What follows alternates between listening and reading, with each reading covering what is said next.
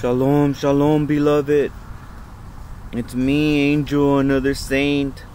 Um, wow, the days pass by so, so quick, beloved.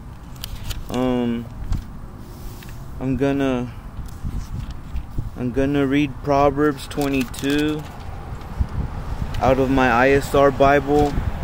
Um, I love, love, love, love my Bible. Um, okay, here I go, beloved. Father Yah, speak to us, my Lord. Bless this reading, my Lord. Draw us closer and closer to you every day, my Lord. I pray for my babies wherever they are, my Lord. And for all for all my beloved siblings. In Yeshua's name, amen. Here I go, beloved. Proverbs 22 out of the ISR Bible. A good name is preferable to great riches. Favor is better than silver and gold. The rich and the poor meet together. Yahweh is the maker of them all. A clever one foresees evil and hides himself. But the simple go on and are punished. The reward of humility is the fear of Yahweh. Riches and esteem and life. Thorns, snares are in the way of the perverse. He who guards his life keeps far away from them. Train up a child in the way he should go. Even when he is old, he turns not away from it. The rich rules over the poor, and the borrower is servant to the lender. He who sows unrighteousness reaps trouble, and the rod of his wrath perishes. He who is a he who has a good eye is blessed, for he gives his bread to the poor.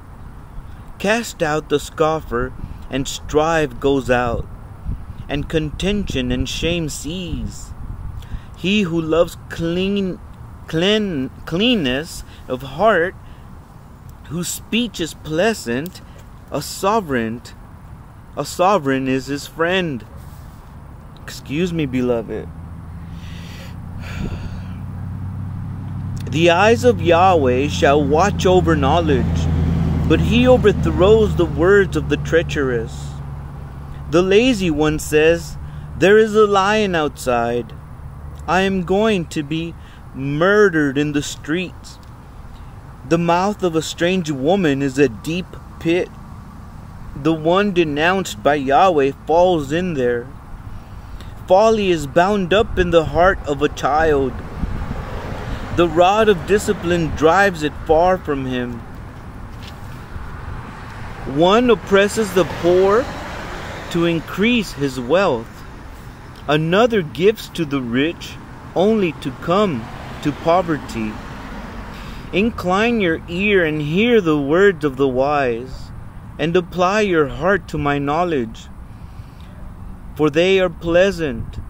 If you guard them with you, within you, let all of them be ready on your lips, that your trust might be in Yahweh. I caused you to know today, even you.